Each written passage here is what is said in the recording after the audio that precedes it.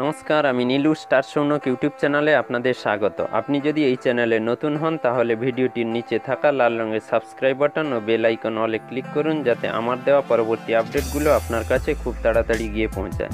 এবং ভিডিওটি দেখার পর যদি ভালো লাগে, তাহলে একটি লাইক ও কমেন্ট করুন এবং বন্ধুদের মধ্যে শেয়ার করুন।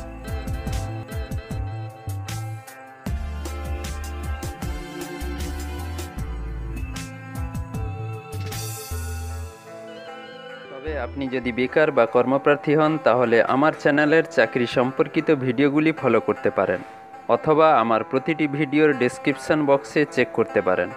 কারণ আমি আমার প্রতিটি ভিডিওতে সারা পশ্চিমবঙ্গে যত জেলা আছে, প্রতিটি জেলার আলাদা আলাদা করে জব রিক্রুটমেন্ট লিঙ্ক দিয়ে রেখেছি। তাই আপনারা ইচ্ছে করলে আমার ভিডিওর ডেসক্রিপশন বক্সে গিয়ে ওয়ান টাচ ক্লিক করে সরাসরি অ্যাপ্লিকেশান করতে পারবেন, অথবা অ্যাপ্লিকেশান সম্পর্কিত ডিটেলস জানতে পারবেন।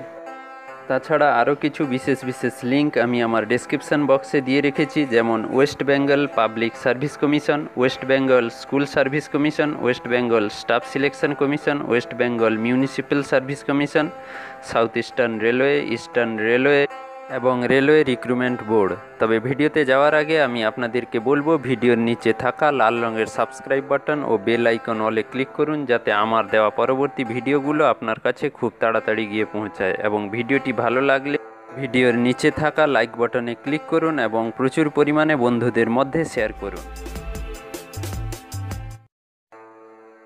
চারটি সহজ উপায়ে জেনে নিন কীভাবে মোবাইলের ওয়াইফাই কলিং চালু করবেন। আরও ভালো কল কোয়ালিটি চান, ফোনের জন্য চান বেস্ট কানেকশান? সময় এসছে চার দেওয়ালের ভেতর থেকে চিন্তামুক্তি হয়ে এয়ারটেলের ওয়াইফাই কলিংয়ের মাধ্যমে কল করুন। তবে এই ওয়াইফাই কলিং থেকে কি কি সুবিধা পাওয়া যাবে চলুন দেখে নেওয়া যাক। এইচডি ভয়েস কল, সারা ভারত জুড়ে কলিং, জম্মু কাশ্মীর ছাড়া কোনো বিশেষ ব্যবস্থা বা অ্যাপের প্রয়োজন নেই। সব রকম ওয়াইফাই কানেকশান সাপোর্ট করবে। ব্যবহার করা যায় বিনামূল্যে, সহজেই চালু করা যায়। এয়ারটেলই প্রথম টেলিকম সংস্থা যারা ভারতে এই ব্যবস্থা চালু করল। আপনি এয়ারটেল ওয়াইফাই কলিং চালু করতে পারবেন চারটি সহজ ধাপে। প্রথম ধাপে আপনাকে দেখে নিতে হবে আপনার মোবাইলটি ওয়াইফাই কলিং সাপোর্ট কিনা। তার জন্য আপনাকে Airtel dot in per wifi কলিংয়ে গিয়ে আপনাকে সার্চ করে নিতে হবে। দ্বিতীয় ধাপ, আপনাকে আপনার ফোনের অপারেটিং সিস্টেমটাকে আপডেট করে নিতে হবে। তৃতীয়, ভোল্টটি চালু আছে কিনা আপনাকে দেখে নিতে হবে। এবার চতুর্থ ধাপ, অর্থাৎ শেষ ধাপ, এটা খুবই প্রয়োজনীয়। এখানে আপনাকে ওয়াইফাই কলিং চালু করতে হবে। চালু করতে গেলে আপনি আপনার মোবাইলের সেটিংয়ে যান, তারপর মোবাইল ডেটা তারপর সিম কার্ড সেটিং আপনার এয়ারটেল সিম কার্ডটি বেছে নিন এবং ওয়াইফাই কলিং চালু করে দিন। ব্যাস, আপনার মোবাইল নিরবিচ্ছিন্ন এইচডি কলের জন্য তৈরি।